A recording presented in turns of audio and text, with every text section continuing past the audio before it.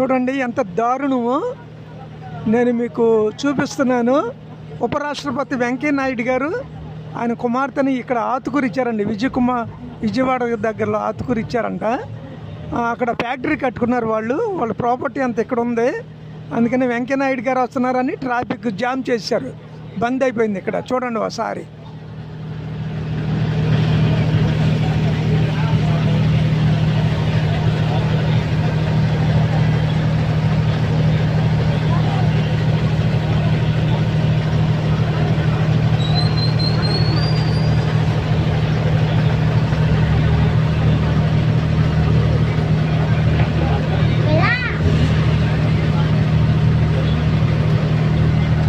ఏమండి ఇదంటే న్యాయమేనండి అసలు?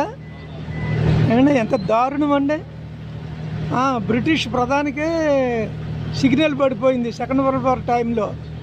వీళ్ళు మినిస్టర్స్ వచ్చినా ఎమ్మెల్యేలు వచ్చినా ఎవడొచ్చినా సరే రోడ్డు జామ్ చేసేస్తున్నారు. ఎంత అన్యాయం అండి ఇలా ఏడ్చింది మన పరిపాలన మన దేశ పరిపాలన.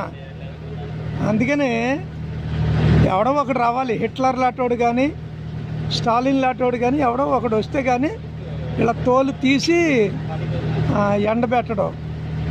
అది మంచి నాయకులు కావాలని కోరుకుందాం. వీళ్ళందరూ దొంగల ముఠ ఇదంతా దొంగల ముఠ. ఈ దొంగల ముఠని మనం ఓడించాలి మనం.